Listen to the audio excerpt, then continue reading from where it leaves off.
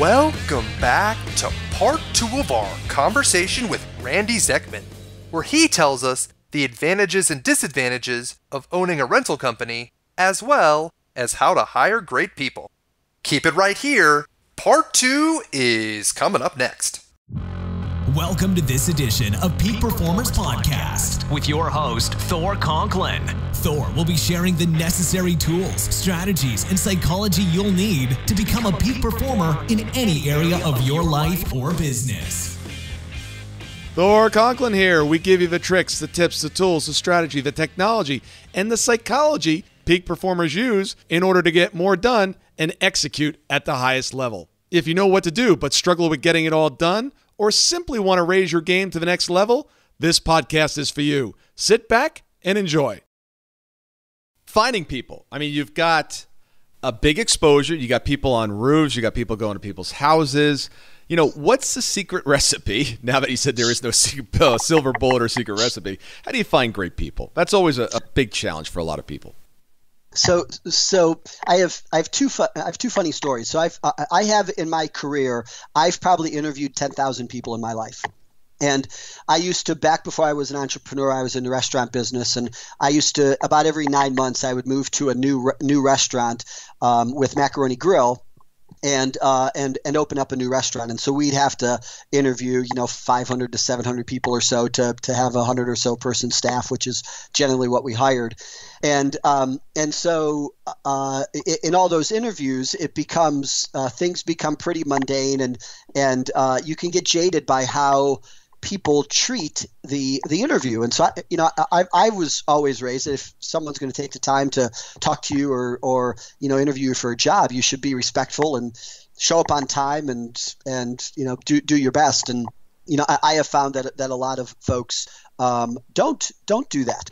So um, so when we were first starting to to hire at at Clean Solar um, I, I, we do a two-step process. So my business partner did the first interview, and I would do the second interview, and then we would kind of get together and share notes. And I could go into more more detail on the interviewing process because there's because we're, we're doing some some interesting stuff with that with that right now that I'd be happy to elaborate on. Yeah, please. But but uh, but the but, but when uh, he was doing the first interview for our installers he sent me over this resume and he said, Look at this resume just in an email.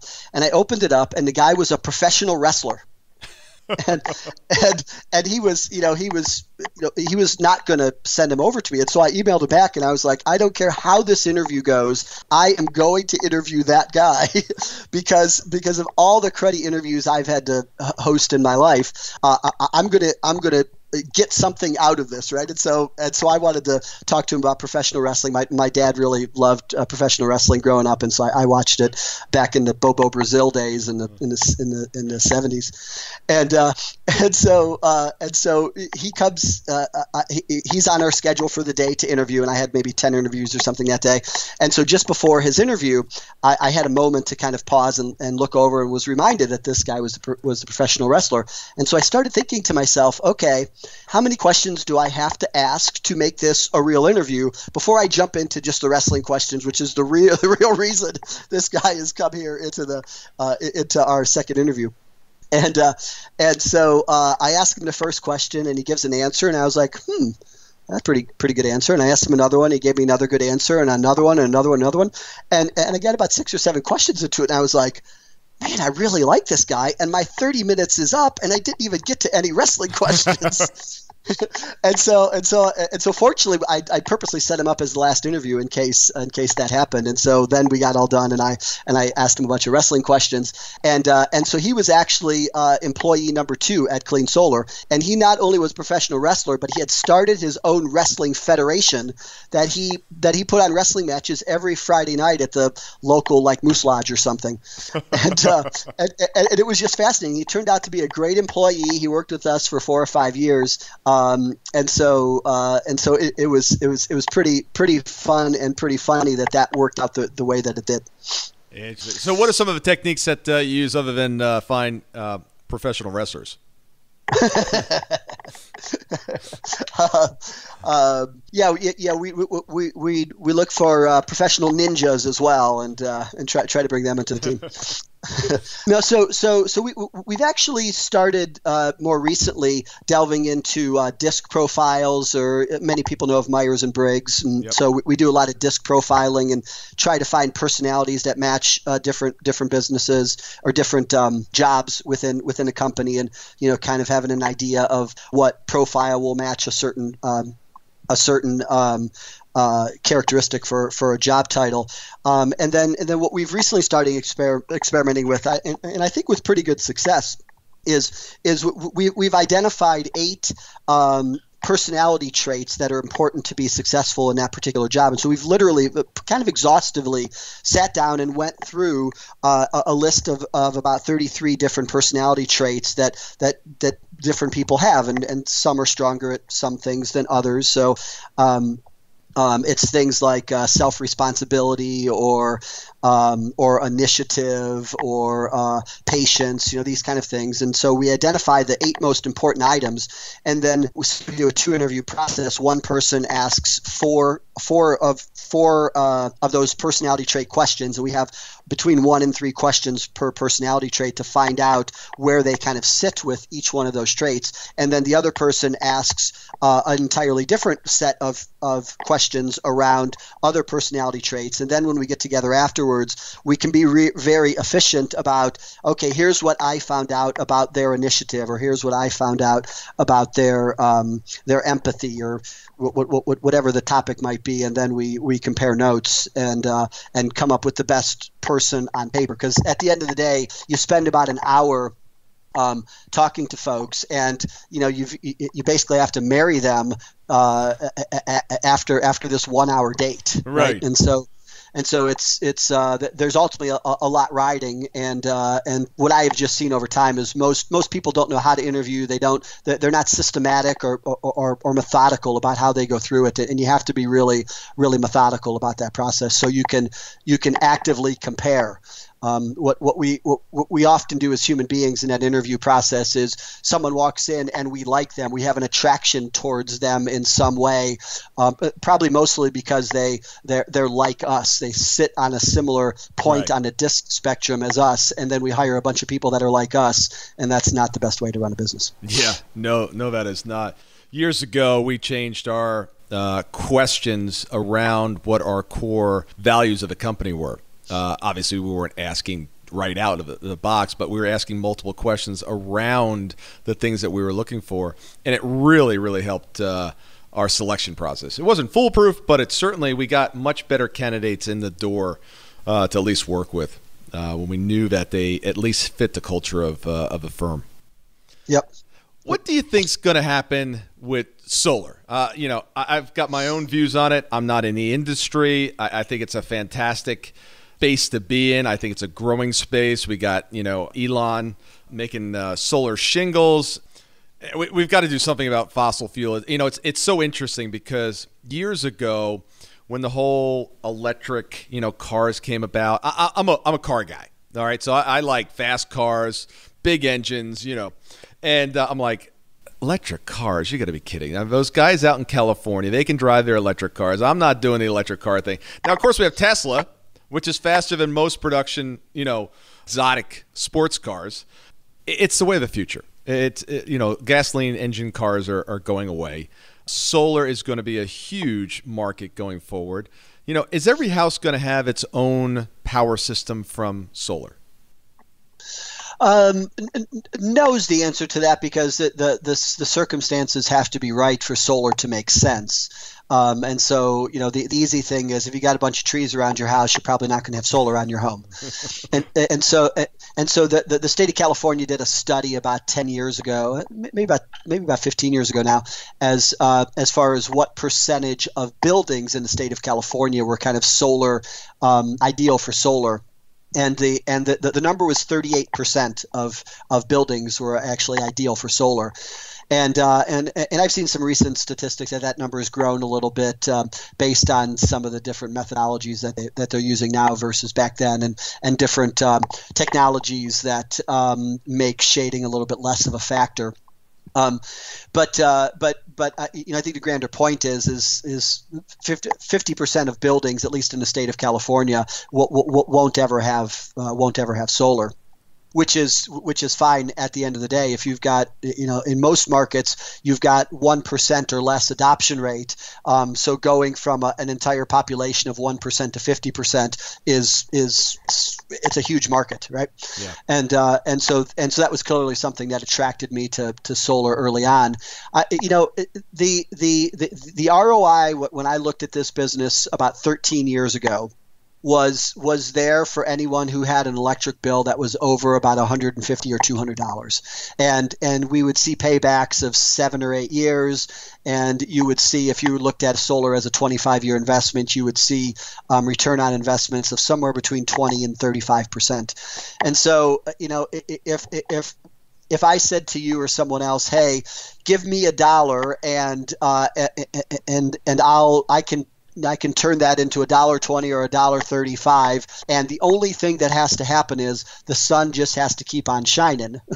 um, it's it's a it's it's a low to no risk proposition for a super high return rate. So so, so, so it just makes sense that that that we're going to continue to have um, adoption in places that have high electric bills. So it, the, the the other key part is is you have to you have for, for, for solar there's there's there's a ton of stuff. And most people think that oh California leads the way because it's sunny California you get more solar you get more sun there so on and so forth. And so you know that certainly helps. But the, but there's actually no point in the United States in the continental 48 that that gets um, um, less than two thirds of where the highest point is. So if you take you know Seattle versus Arizona, those are kind of the the uh, Phoenix, Arizona. Those are kind of the kind of the highs and the lows. Yeah. Um, there's there's like a there's a 66 percent um, uh, or a 33% difference, right? So it's you get 66% of the actual um, insolation in Seattle as you do in, in Arizona. So, so, so, so, that part of it's very little. It's, it's really more about high electric bills and the um, and and the people that live in the area.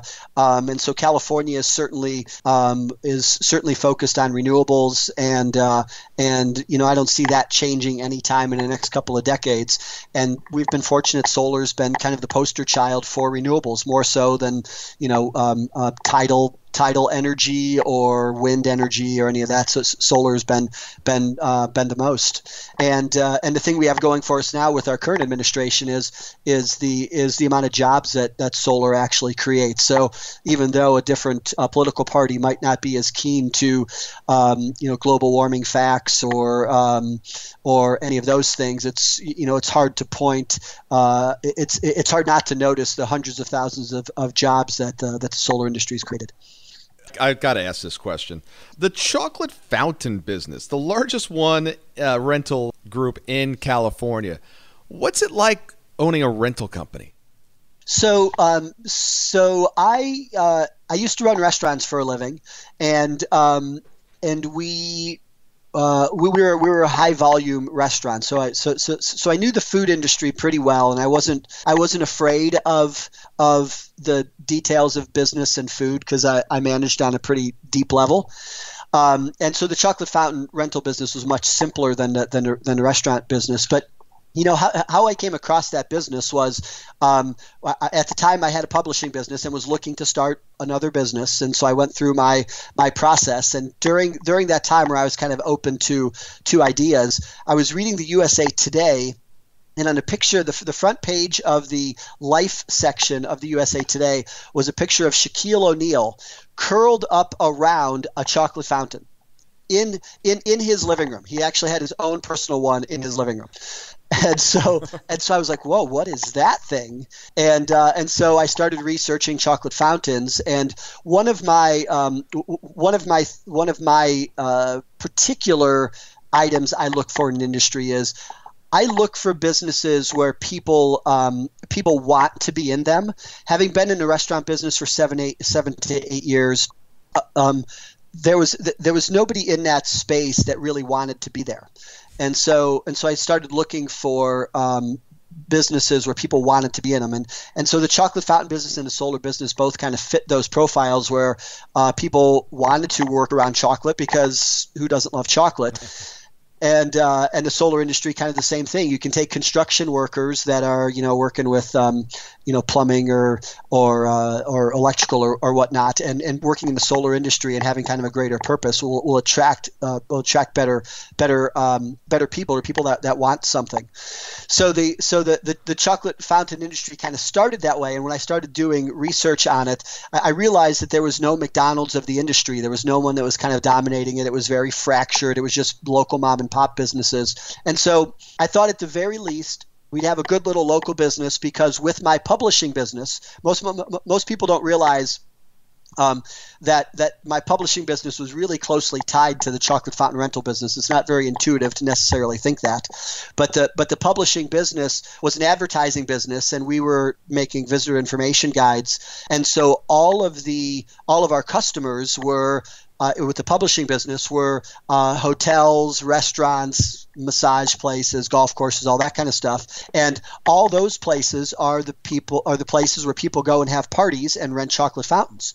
So I basically knew every hotel owner in town. I knew every restaurant owner in town. I knew um, all the all the event places in town through the publishing business. So at the very least, I thought I'd have a good little local business because I knew everybody and they'd rent from me versus versus somebody else. Um, and at the at the at the very height of it, we could become the McDonald's of the industry and sell chocolate and sell chocolate fountains and rent in all these cities across the country. And so we were the largest chocolate fountain rental company in North America, renting in the 25 largest cities in the United States. And it was a it was a, it was a fun little fun little run for the for the 12 or so years that I had that business, and I sold it about two years ago.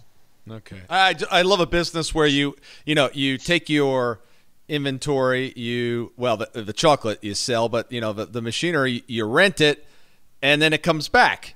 And then you get to rent it again and it comes back. Uh, it just you know why sell it once sell it multiple times? So um, I'm, I'm always I love hearing from entrepreneurs and, and why they've got into certain industries. And you know I'm the type of guy that walks down Main Street and I'm looking left, I'm looking right, and I'm like, there's a brand new build out, of somebody building out a clothing store, and I'm like, what are they thinking? It's like, you know, this is this is not gonna work, you know. no matter how you slice it, you need some yep. profits at some point to keep the doors open. Yep. Unless there's yep. an un- unlimited, uh, you know, reservoir there uh, somewhere. If you're not getting the results you want and need, I guarantee no one's holding you accountable. Now, let's face it, who really wants to be held accountable? Not me, right? Nobody. Why would you want to be held accountable? It's not part of our nature. However, if you want to get exceptional results, you must be held accountable. For $95 a month, our team will hold you accountable to those goals that you want to accomplish in any given month.